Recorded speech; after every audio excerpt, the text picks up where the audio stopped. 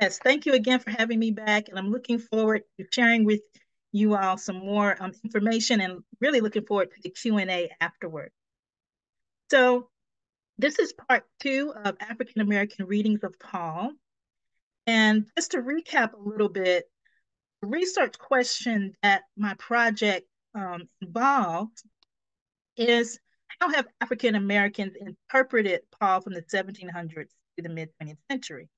And so the last time we looked at Jarena Lee, if you recall, we looked at um, Zilpha Elaw, another um, female Black preacher in 19th century. We looked at some early enslaved petitions.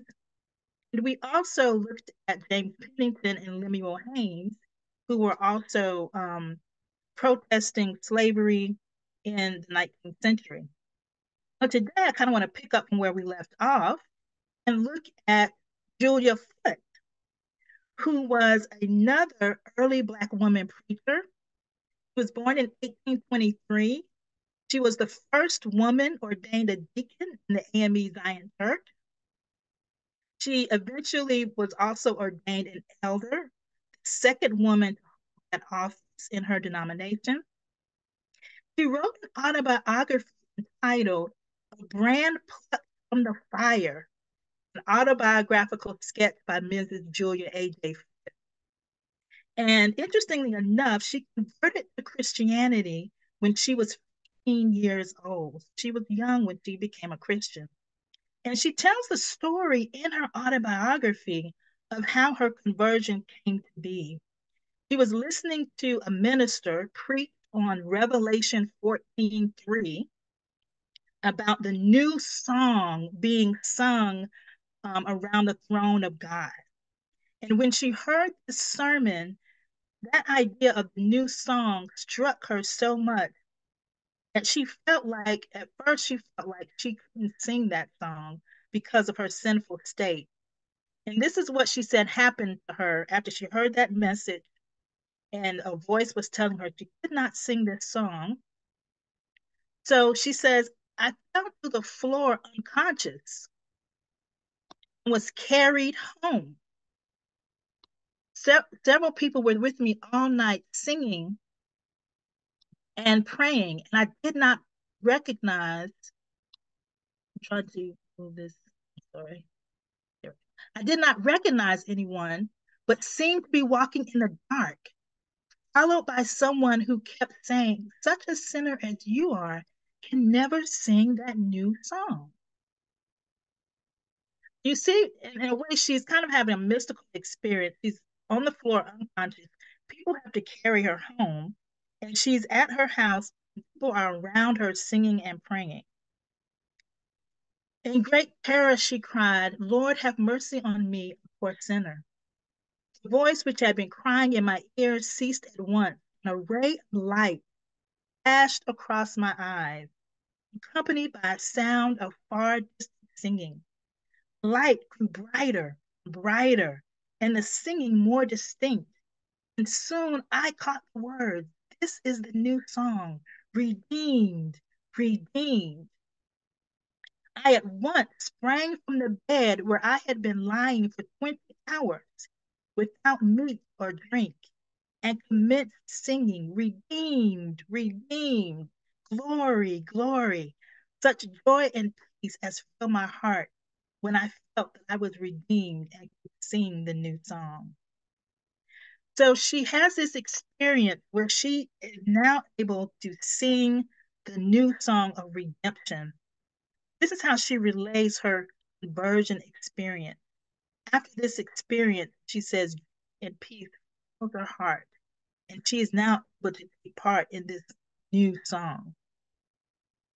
Now, after she has this um, really profound conversion experience, she also has another really um, divine encounter, if you will, when she requests the gift of sanctification from God. And when she requests this gift of sanctification, of purification from God, she has another really profound experience. She says, The glory of God seemed almost to prostrate me to the floor. There was indeed a weight of glory resting upon me. she has this great experience of the glory of God resting upon her. Glory to the Father, glory to the Son, and glory to the Holy Ghost, who has plucked me as a brand from the burning and sealed me eternal life. I no longer hope for glory, she says, but I had the assurance of it. Praise the Lord for Paul like faith. I am crucified with Christ. Nevertheless, I live, yet not I, but Christ lives in me. She receives this purification, sanctification, and has this really beautiful experience with the glory of God resting upon her. And then she goes on to write about how she makes Paul's prayer her own prayer. This my constant prayer was answered, that I might be strengthened with might by his spirit in the inner man, being rooted and grounded in love, I might be able to comprehend with all the saints what is the length and breadth and height and and to know the love of Christ which passes knowledge and be filled with all the fullness of God. She takes that prayer from Ephesians 3 16 through 19, and that becomes her prayer. She said, I had been afraid to tell my mother I was praying for sanctification. Now remember, she's only a teenager at this point. But when the old man was cast out of my heart and perfect love possession, I lost all fear. So she talks about after these experiences, there's a kind of a boldness that she has about her faith. She shares it with her mom and her family and her friends. Now, after she um, receives this gift of sanctification and she is converted, she also gets the call to preach. And she talks about that in her autobiography as well. And she's very, very hesitant to accept this call. She says, day by day, I was more impressed that God would have me to work in his vineyard. I thought it could not be that I was called to preach. I, so weak and ignorant. Still, I knew all things were possible with God, even to confounding the wise by the foolish things of this earth. Yet in me there was a shrinking. You can see here how she's echoing Paul's language in First Corinthians, right? How God chooses the foolish things of the world to confound the wise. And yet, even though she knows this, right, she still is kind of very hesitant about accepting this call from God. But she does accept it. She does take on those who say women should not preach. And one of the things that people were saying to her was it may have been okay in the Bible days for women to preach, but it's not okay now for women to preach. And so she, in this quote, she tackles that point of view. She says, I could not believe that it was a short lived impulse or spasmodic influence that impelled me to preach. I read that on the day of Pentecost was the scripture fulfilled as found in Joel 228 and 229.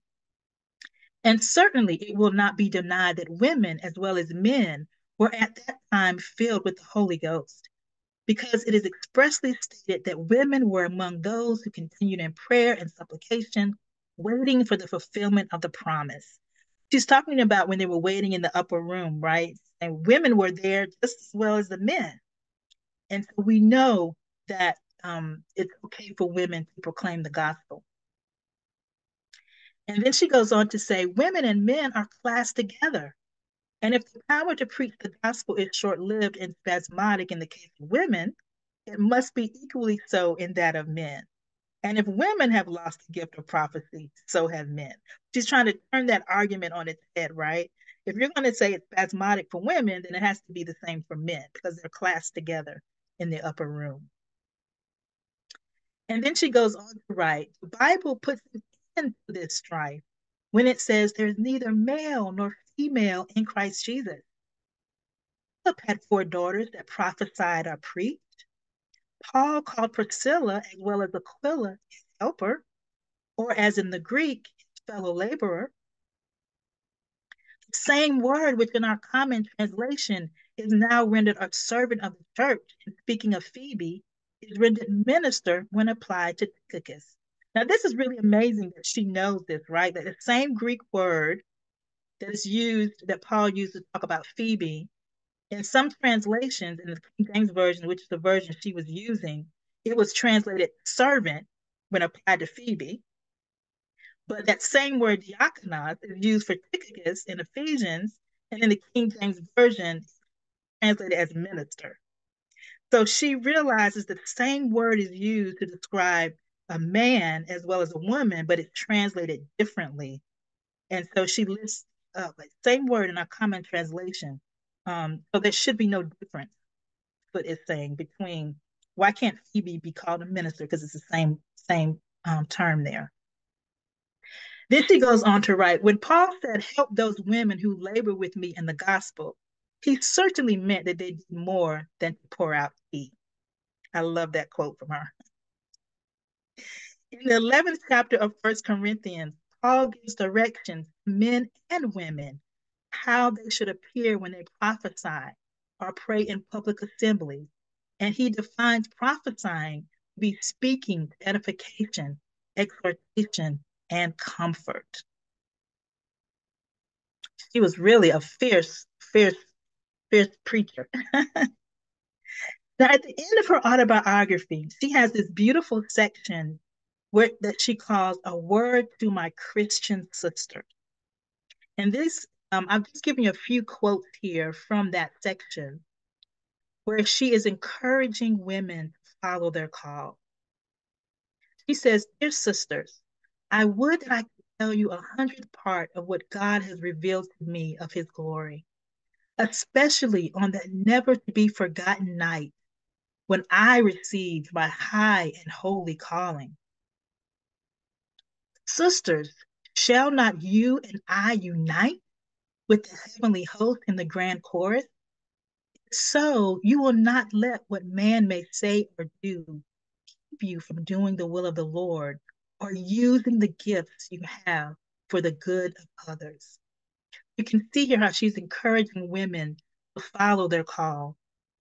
Be not kept in bondage by those who say, We suffer not a woman to teach. It's quoting Paul's words, but not rightly applying them.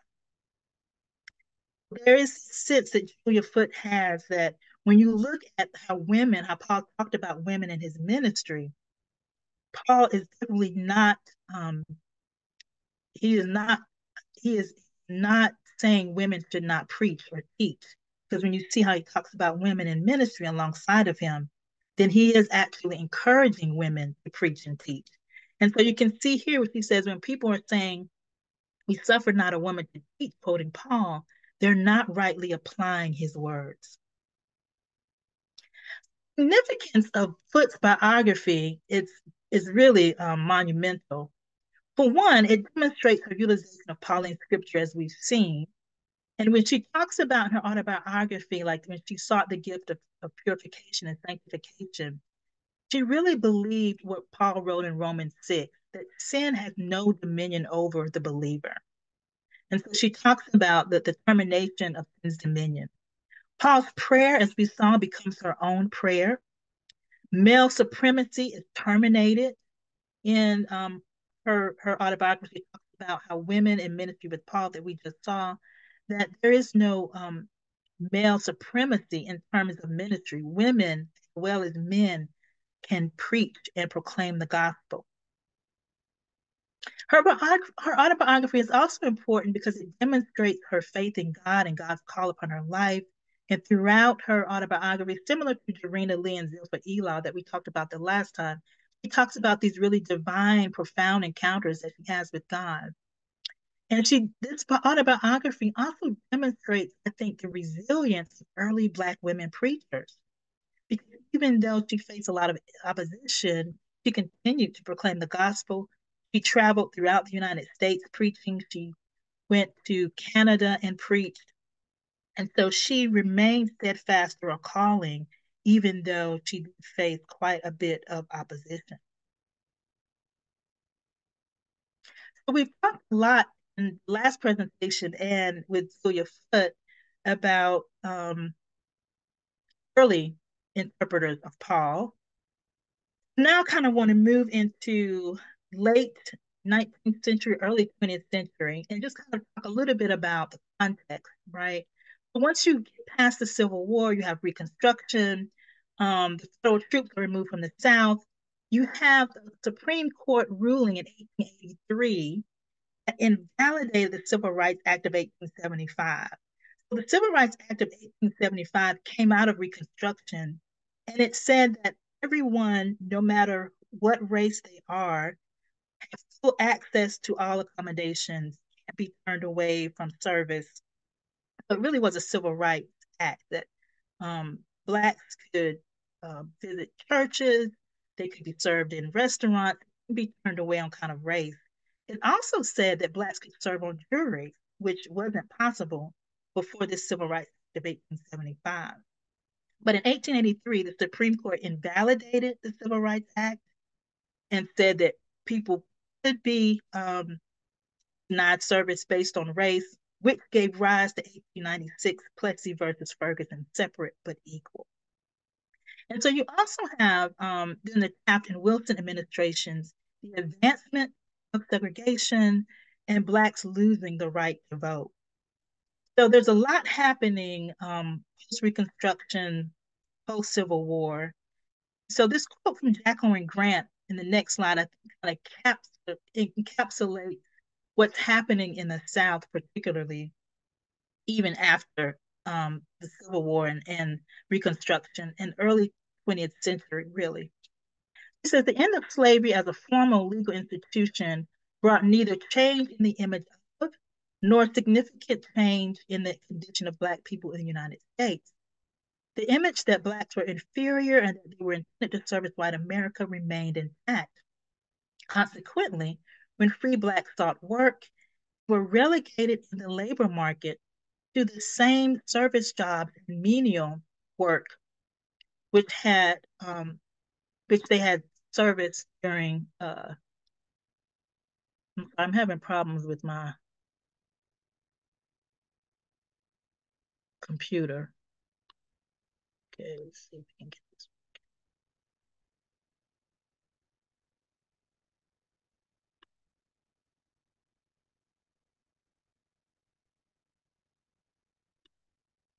There we go. They have been they were re relegated in the labor market to the same service jobs and menial work which had been forced upon them during slavery. So as you can see from the invalidation of the Civil Rights Act, um, and as we talked about in the last presentation, this idea of Black inferiority really remained, unfortunately. Um, and so when you have in the South, particularly the rise of Jim Crow, the rise of segregation, you have um, the rise of lynchings during this time. And so one of the things my project wanted to do was to also talk about how do African Americans, in light of the historical context, continue this Black tradition of using Paul to protest racism and injustice in the early 20th century. So I talk a, a lot about the early interpreters. So now I want to spend a few minutes on interpreters in the early 20th century in light of the context of segregation and descendant of enslavement, of, of slavery. Ida B. Robinson is another really wonderful figure. She founded the largest African American Pentecostal denomination established by a woman. Um, it's the largest denomination led by an African American woman.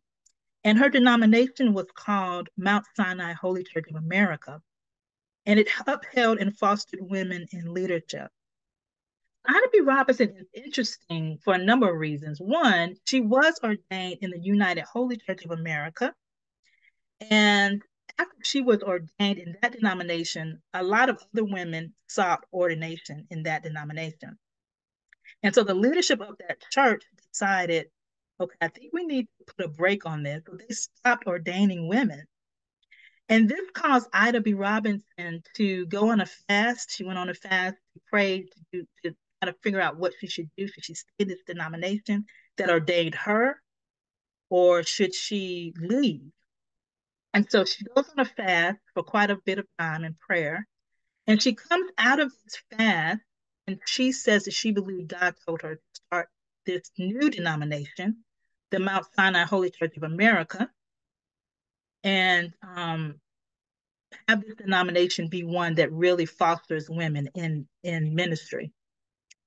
And so she goes out and starts this denomination. And she's known for saying this because she's faced a lot of opposition because she was a woman. If Mary, the mother of Jesus, could carry the word of God in her womb, why can't women carry the word of God in their mouth? She is known as um, a, a, pastor, a bishop. She starts this denomination and um, really does take off, if you will. Starts in Philadelphia, but she ends up having churches in the South, churches um, in South um, in South America, and um, women are ordained in this denomination, and they are lifted up in leadership, even as bishops. Estrelda Alexander says this about Robinson. She says, even though her own future in the United Holy Church would probably have been secure, Robinson's in starting her movement was specifically to establish an organization in which every woman minister would have full freedom to participate in every level of ministry, and in which women would have full clergy rights, including the right to ordination as bishop. Accordingly, every action she took as head of the newly formed denomination reflected this commitment and intention. So Robinson is fascinating because in her church, she not only uh, is about women or ordaining women, but she's also very community oriented. She she purchases a farm where she could feed those in her community. She starts a school so that students, kids could be educated. She has a radio program early on. This is the early 1900s where she's on, she's broadcasting on the radio preaching. And um, she's also surveyed by the FBI because in she speaks out against the war. She's a pacifist. She speaks out against the war. And they think that she may be in cahoots with Germany. She's a very um, popular speaker and preacher, but she also, in her radio broadcast, speaks out against racism and the lynching that are happening in the South, because she also has churches in the South in, as part of her denomination.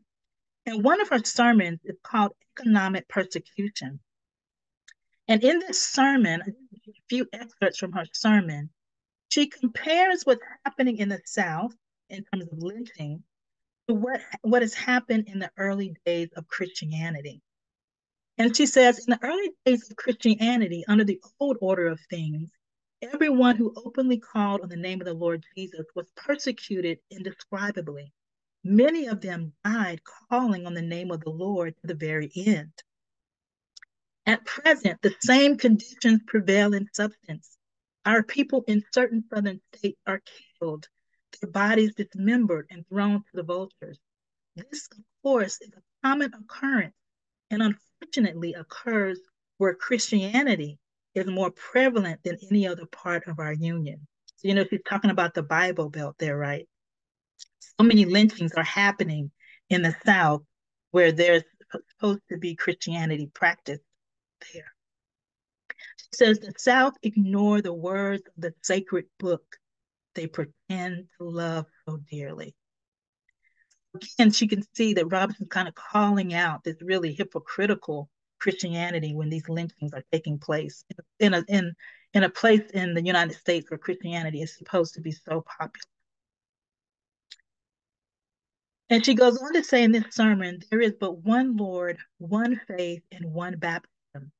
So that if God is the Father of all, the relationship that exists between Gentile and Jew, as well as Ethiopians, is inseparable and unquestionably established.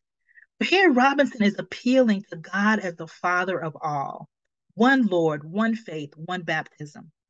And so, this appeal to the fatherhood of God is appeal to one humanity, right? To the one humanity. He says, Let us pray that the Constantine of our day, if there be one, sends a letter to modern pagans in the polluted Southland in the form of anti legislation that is now pending in Congress. So she asked for prayer that the Constantine, similar to it for the early church, that there may be a Constantine for her day. And there was at this time when she did the sermon, there was some anti-lynching legislation pending in Congress. And so her prayer is that this um, legislation would be passed, that God would raise up a Constantine that will allow this legislation to be passed. Robinson is important because she uses Paul's words to denounce the nation's refusal to stop the lynching of African Americans, as we saw in the uh, quote above. Also, the language of God's fatherhood is important for her because the fatherhood of God um, signifies that the bond God creates between people of different races. There's a bond, one humanity. And so this bond demonstrates that Black lives are just as important as white lives. She is also a um, significant figure because, again, she's calling out the South for their hypocrisy. The fatherhood of God means that humanity is one family and that the atrocities taking place in the South, such as the lynchings, indicate that the Christianity of the South is really no faith at all. She also was a very bold, bold woman. Robinson has not received adequate recognition and is still virtually unknown to scholars and the general public, but her legacy survives through the denomination she founded and the church she established in Philadelphia. And I think that's an important quote by Thomas. Um, I did not had not heard of Robinson until I started doing my research. And the more I learn about her, the more I'm intrigued and fascinated by her her um, her tenacity and her her boldness. So I want to end with um, King, which I'm sure we all have heard of. And so another important figure in the 20th century. He has been called a prophet, God's trombone, a drum major for justice, a theologian of resistance. As we all know, he was born in Atlanta, Georgia. He graduated, graduated high school when he was 15 years old. He received his bachelor's degree from Morehouse College. He also graduated from Crozer Theological Seminary in 1951. He became the pastor of Dexter Avenue Baptist Church in Montgomery, Alabama.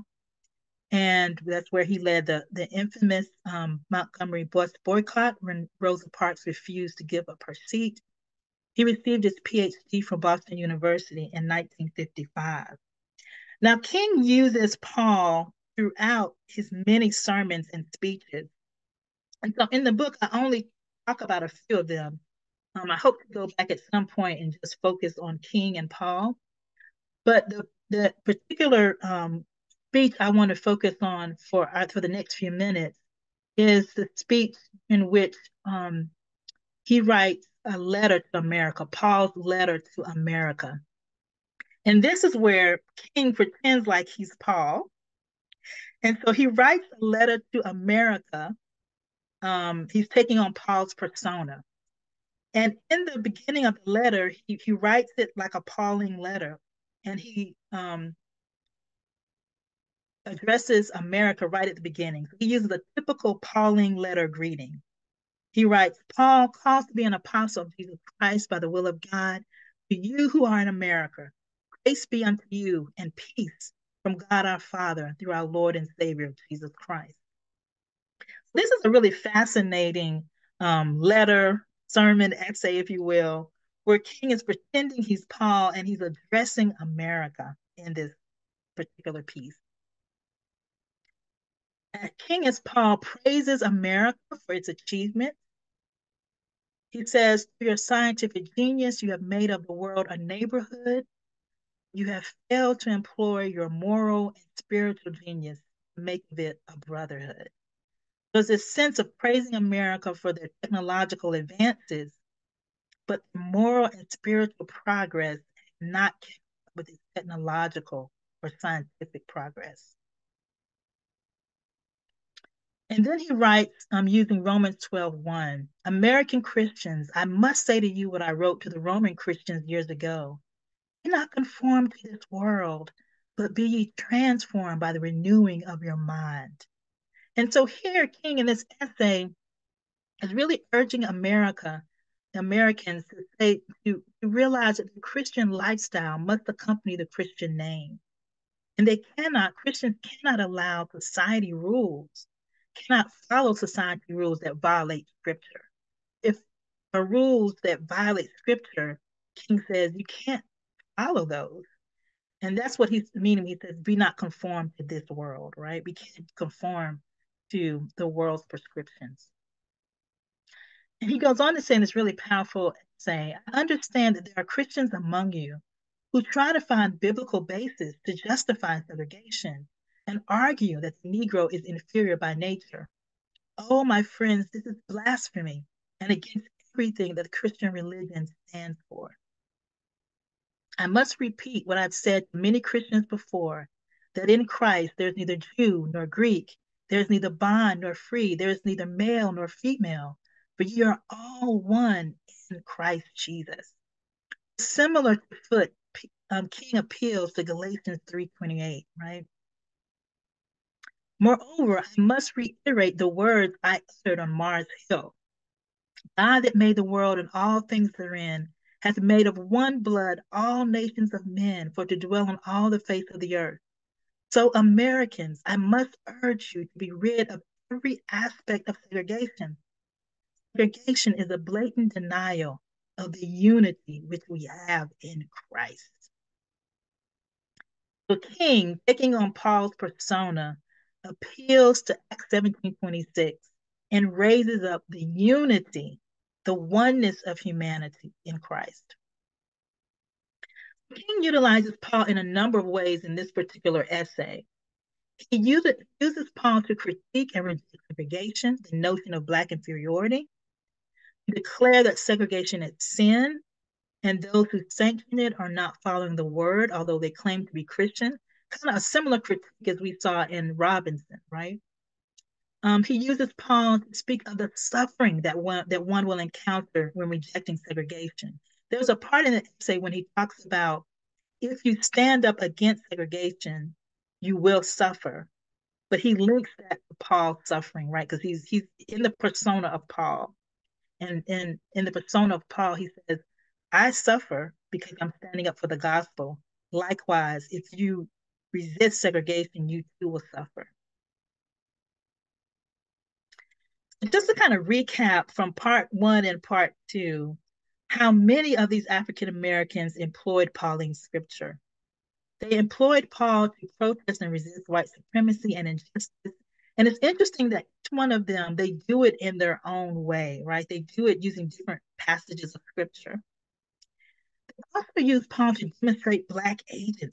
And I think that's important to think about that they were using their agency um, given by God, empowered by the Holy Spirit, speak out, right? They became subjects, um, not objects at which scripture was aimed, but subjects, interpreting scripture through the presence and the power of God. Exposed nations' hypocrisy. We saw that a number of these interpreters calling out um, the nation for its um, hypocrisy in terms of um, uh, segregation and, and, enslavement, and being bold in speaking out, right? And, speaking to the nation and willing to suffer for that if need be. They also use Pauline scriptures to empower Black communities, help those in their audience see the image of God in them, and to help them to know that they um, are worthy and that they are made in the image of God and that God loves them and that God empowers them to speak out, empowers them to go forth in whatever God has called them to do. And as we saw in a number of, these interpreters, Paul is important to advocate for unity, right? The, the fatherhood of God.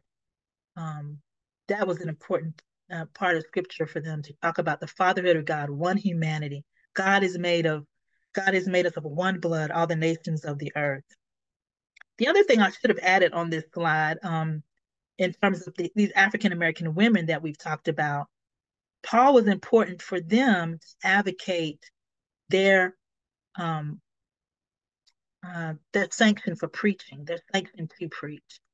So even though people were using Paul to try to silence them, they used Paul to say that actually Paul condones women preaching, um, condones the ordination of women, and Paul really a companion, a companion, if you will, um, in their journey, in their ministry journey. I want to make sure I have time for Q and A. I think I'll just end with this. I'll end with this slide. Um, get the good summary of what all of these different African Americans how they employed Paul. Thank you so much for for coming back and giving us that additional information. I I love these women that you have introduced us to, uh, like uh, Julia Foote and Ida Robinson. They just I do too. they fill my heart um, because they are fierce women. Yes, and, um, indeed. You know, yeah. So so thank you so much for introducing introducing us to them. Um, so yes, we are going to move into some question and answer now. So uh, if you could all do me a favor and use the raise hand function in your uh, reactions. So down along the bottom of your screen, you'll see the raise the reaction button. If you click on that, you'll be able to see the option to raise your hand. And once I call on you, then um, you'll be able to unmute yourself and um, engage with Dr. Bowens. Um, I've just given you all that ability to unmute yourself. So uh, as folks are getting their questions ready or their comments, um, I just had one question for you, uh, Dr. Bowens. Mm -hmm it struck me that there are like two parallel struggles that are going on um, that that you're talking about. So the one is the struggle that women are having within mm-hmm. the to be preachers and ministers and leaders. Mm-hmm. Um, then, of course, there's the struggle against racism that the mm-hmm. Black uh, community as a whole is is working. And I wondered if you ever um, I'm thinking about Ephesians in particular, and I forget exactly the the chapter and verses, but it's the household code. Mm-hmm. So where wives are to be submissive mm-hmm. to their husbands, um, and of course the, yeah. the husband is supposed to treat women with respect. And mm-hmm. it's the mm-hmm. same thing for um, for slaves. Slaves are supposed to obey their mm-hmm. masters with fear and trembling, or whatever the expression. Right. I wondered if you encountered any um, direct responses to that from um, these women or from some of the African American authors that you were researching? Yeah, so a good question. So um, I, am not going to say there aren't any direct responses to it.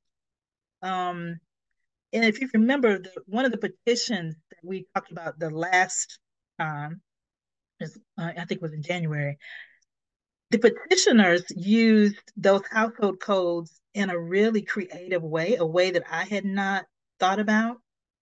Um, they talked about it in terms of fami- Black families, right? Um, and enslavement. Um, because slavery separates families, how can husbands love their wives? How can wives submit to their husbands? How can children obey their parents? So that's how they dealt with that those household codes in the in that petition. In a sense kind of calling out the separation of families during enslavement. But you notice in that petition they don't mention slaves obey your masters right?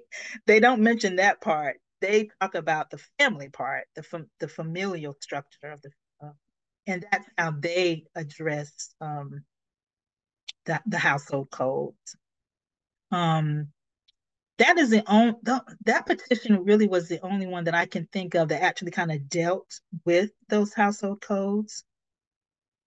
Um, Lemuel Haynes doesn't deal with it directly. He says something to the effect of um, just because slavery existed in the in Bible times doesn't mean it's right.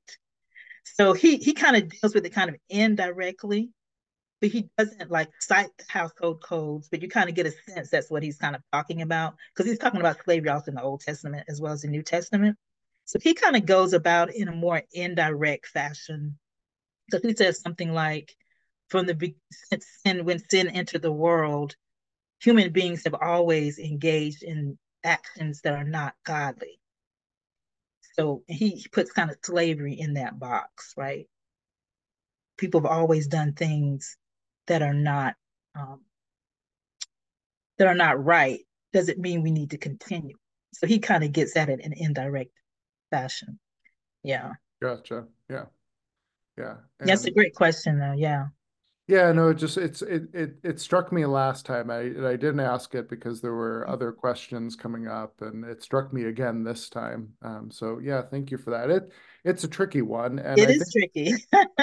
yeah, I think what you say, you know, just like just because it existed during biblical times doesn't make it right. And mm-hmm. you know, mm-hmm. Paul Paul is of course a product of his age, right? And so right. there's good stuff in Paul, and then of course there's some there's yeah. some not so good stuff Paul. Yeah. So, yeah. Yeah. And there are some scholars who say, if I may just put this in there real quick, there's some scholars who say, you know, because you were saying like Paul's a product of his time, could he ever have imagined like a world where slavery is non-existent, right? Um, I think in Galatians 3.28, that passage that um, we talked a little bit about earlier, um, I think he imagines that at least for the church, right? Um, but the implications of that on a grander scale in society, could he have imagined a society without slavery? There are some who who ask that question. Yeah. Yeah, sure.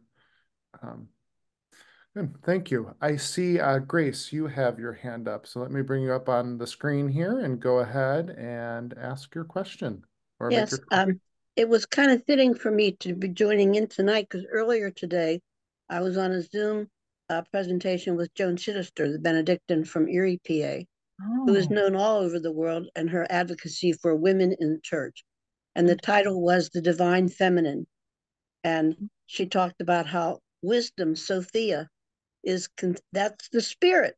And that, again, that we we the, the patriarchy keeps wanting to push women to the side and yet we are equally created in god's image yeah. and we women we women need to keep pushing and pushing and pushing for she said words matter and the scriptures that we use we need to make sure they are inclusive scriptures and the books that we read the publishers we need to insist that when they are publishing these books that the feminine and the masculine are to be working together because we are all created in God's image.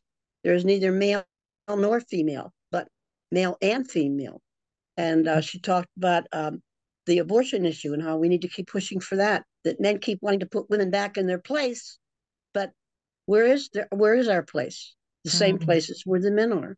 And that it was it was just kind of neat to see the, the dovetailing of your presentation with what Joan was talking about this morning.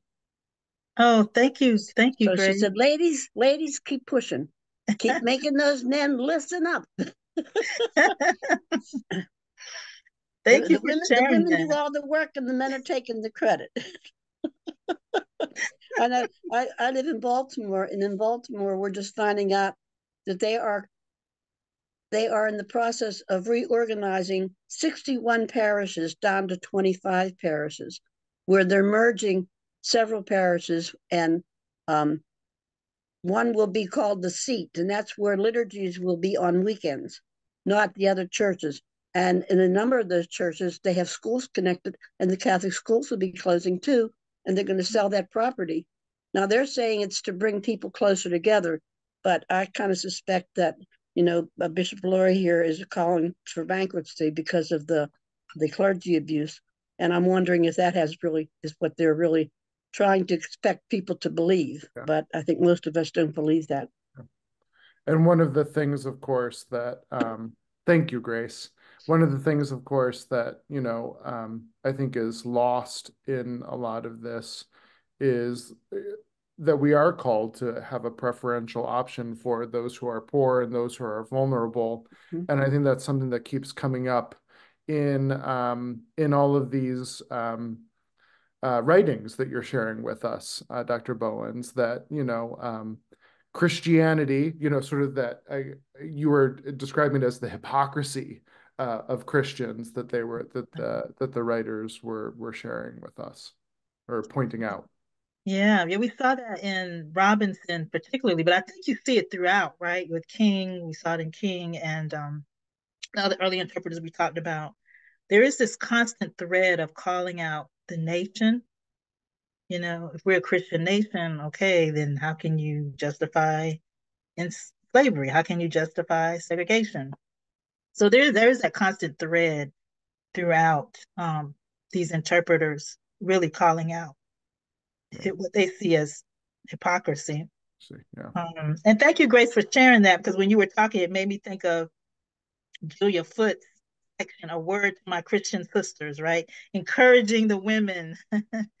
Don't let what men may say or do stop you from using your gifts. I, when I read that part of her autobiography, I just felt I just felt like chills going down my spine. Yeah. How can we say God is love and be showing all this hate and this Christian yes. nationalism and mm-hmm. the white church? Yeah, mm-hmm. it doesn't make sense. Yes, I think they. I think these interpreters would agree with you. Racism hurts everybody. Yes, it does. Mm-hmm.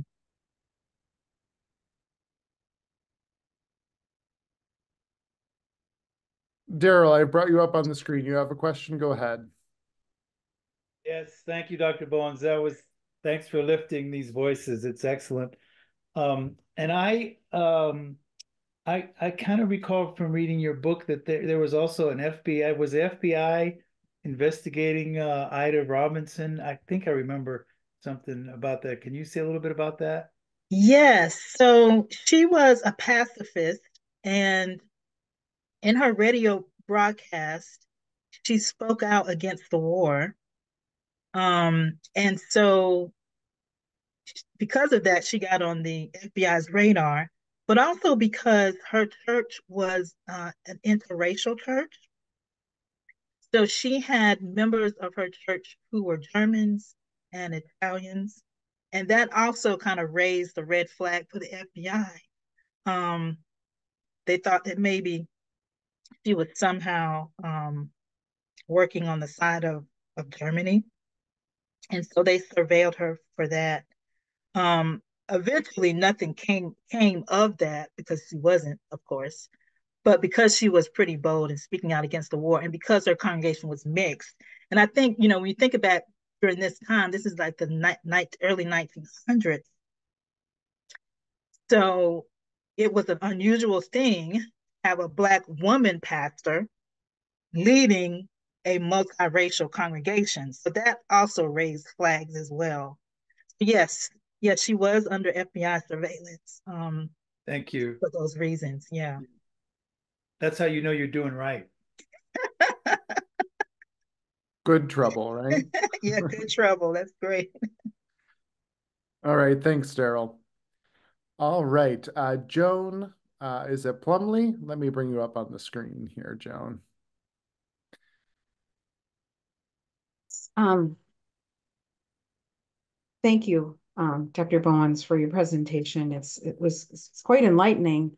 Um, our parish uh, racial justice ministry team, of which I am the leader, is is putting on an event later this month on Christian nationalism, ecumenical voices opposing Christian nationalism. And I heard some references to Christian nationalism in your talk. Could you speak a little bit more about that? Yeah, so I think Christian nationalism has a long history in our country. Mm-hmm. Um, and I think it, it goes really goes back, I think, to the founding of our country, right? This sense of America as the city on the hill, this sense of America as chosen by God, um, this sense of America as um, God's beloved, right? And mm-hmm. part of that kind of national identity that goes back to the founding of this country, there's so many different layers to it, right? There's an economic layer to it. There's also a layer of um, what's the word I'm looking for? I guess the sense I don't know if entitlement is the right is the right word. I would I would use that for now. Um, the sense that because America is chosen by God, it has the right, the entitlement to um, to, for lack of a better word, to do harm to others in the name of God. Mm-hmm. So I, when I and I say that because I think about the the um the slave trade, right? Because America is chosen by God, we have a right to enslave these other human beings because these human beings help make America prosperous. America is chosen by God. God has given us this ability. God has given us this right. God has given us this power to subjugate these peoples. Um, and the subjugation of these peoples is part of God's plan. It's part of God's plan for America. So I think this nat- this Christian nationalism really goes back, really, in my opinion, to the founding of the country, because it it this idea of a Christian nation gave America in many ways its identity as God's chosen and as God's chosen the ability and the right to do things that really should never have been done. And so a lot of when you think about American enslavement, a lot of it was about eco- economy, economic yeah. and power, right? Um, using these um, people for economic benefit to make America powerful. Um, and so when you look at these interpreters, many of them call out the nation for just for that, right? You say you're a Christian nation, but look at what you're doing. How can the, the two cannot go together? The enslavement of human beings and um, naming yourself as Christian those are antithetical to um, what a what a Christian should be about, what a Christian nation should be about. So I, I think, yeah, Christian nationalism has a long history in our country. Um, it's bubbling up now even more, I think, um, in light of the con- the climate, the climate. But it's always, in my again, this is just my opinion. it's always been here from the from the founding of the nation. Um, this sense of uh, American exceptionalism, I think, too, is part of it. Um, yeah, I don't know if that gets to your question, Joan. Does that get to your question at all? Were, were you wanted yes. something more particular or specific?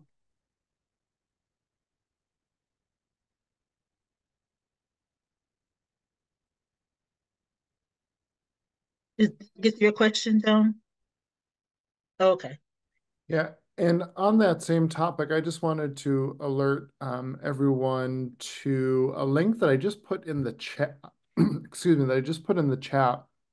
Network, which is the Catholic Social Justice Lobby um, in Washington, D.C. Um, um, recently, I, it's maybe a year or two now old, um, but they they did a, a presentation on um, basically U.S. Christianity, white supremacy, Christian nationalism, uh, and that that recording is available at that link. And I do know that um, uh, Father Bryan Massingale is one of the presenters. Uh, so it might be, if people are interested in that, it really might be well worth uh, looking into. Thanks, Joan. Uh, let's see. Madonna H, I see you have your hand raised. Let me bring you up on screen here. Thank you. Um, thank you so much. I um, Martin Luther King died on my 10th birthday. And ever since then, I've been on a mm. trajectory, wow. uh, which uh, I live in Canada. And that took me to Memphis. And I carried this baby around with me in my knapsack. It's well worn. Um, um, and have been carrying it all the time. And so you probably know that he also mentions Paul in um, letter to Birmingham, letter in Birmingham jail. Yes. Uh, I continue to think about the matter of being called an extremist, and I decided uh, I gained a bit of satisfaction. Was not Paul an extremist for the gospel of Jesus? I wear, bear in my body the marks of the Lord Jesus. Yes. I love that one. Yeah. I wondered if you could talk a bit about Paul as an extremist and and very quickly so raised Catholic with a name like this probably not a surprise um I did not get my hands on the Bible myself it was interpreted so I am just reading it now and coincidentally this morning I am on Paul's letter to Philemon. I don't know if I'm pronouncing it right. And in it, he asks Philemon to accept the slave. Mm-hmm. Is it mm-hmm. Onesimus? Onesimus. Onesimus mm-hmm. as a mm-hmm. brother not mm-hmm. as a mm-hmm. servant. Mm-hmm. And that I wouldn't force you to take him because I want you to take him out of brotherly love, not out of necessity. I wonder if you could, maybe you already touched that last time, but if you didn't, I, I would love to hear what you have to say about that one. Okay, great questions. Thank you.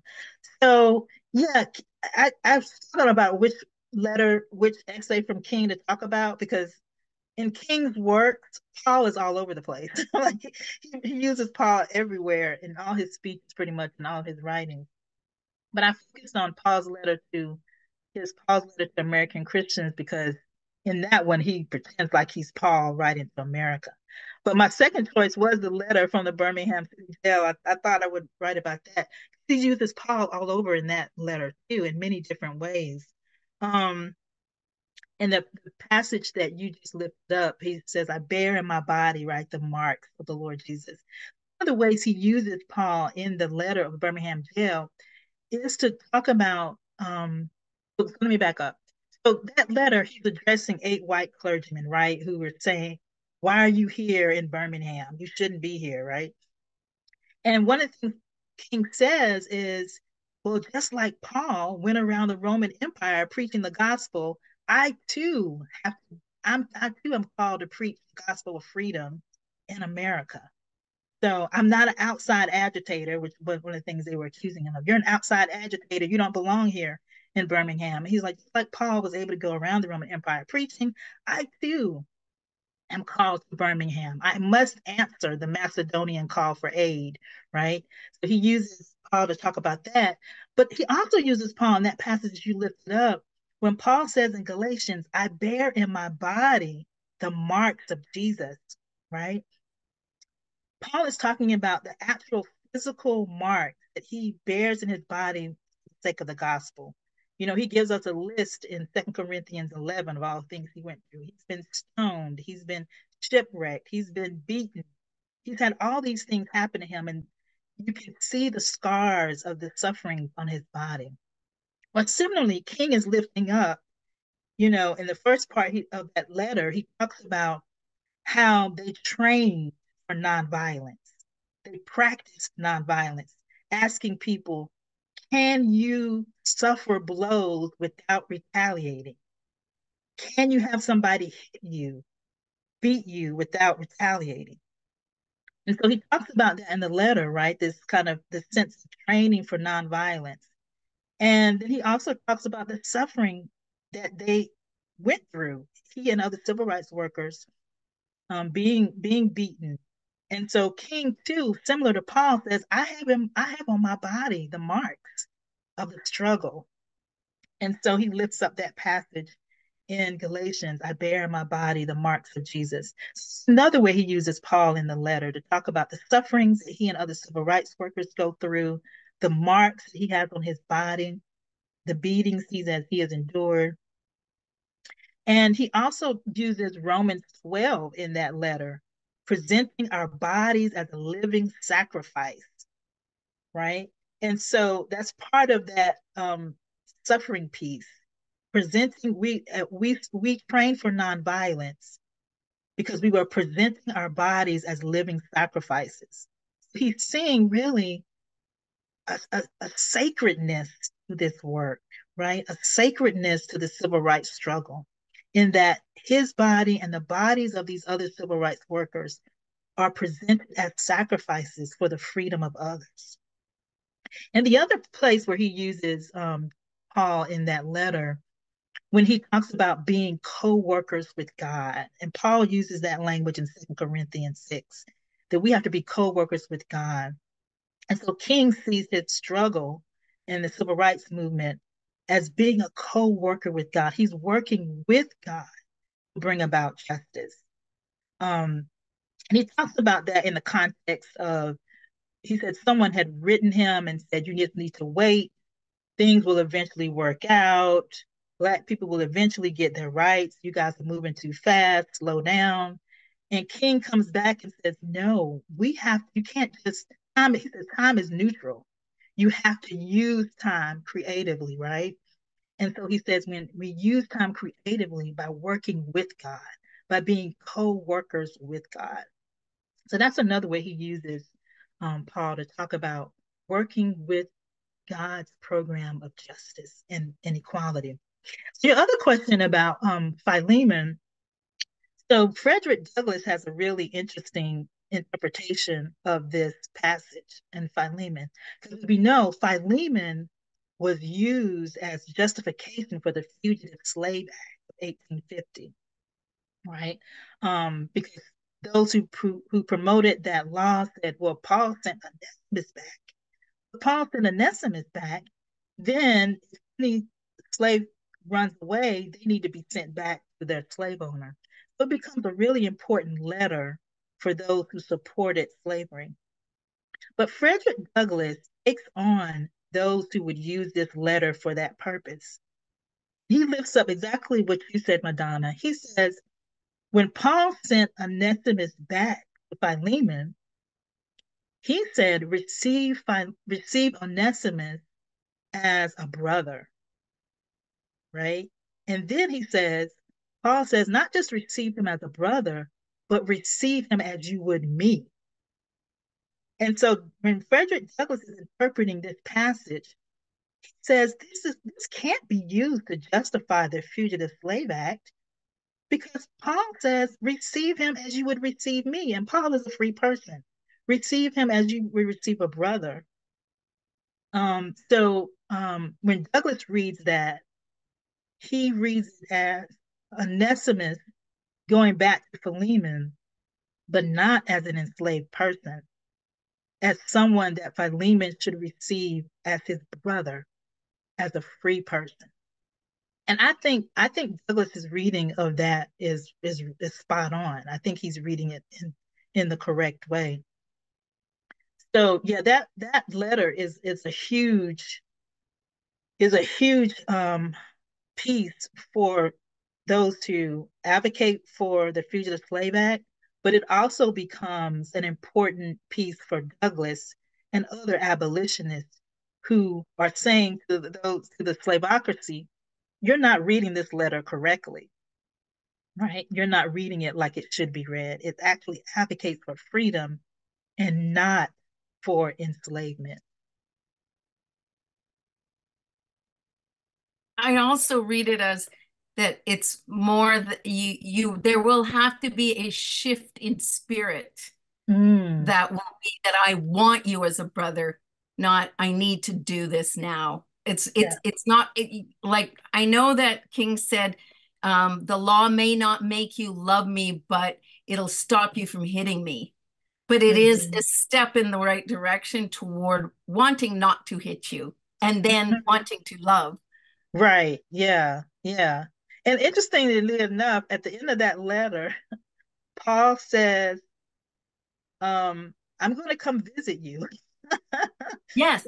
That's, it's kind of like he's saying, you know, receive him as receive him as a brother, receive him as me. And by the way, I'm going to stop by and see if you actually done it. Have you actually received Onesimus back as I've asked you to do? So yeah.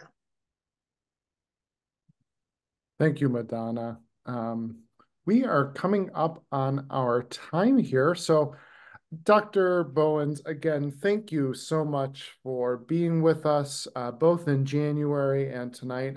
I know I've learned so much from you, um, and it, it, looks like so many of our folks have too. So, really, thank you. It, it's just been a pleasure to engage with your work and your brilliance. So, thank you for being with us. Thank you so much. Thank you all for having me. I've enjoyed being with you all so much. Thank you. Thank you.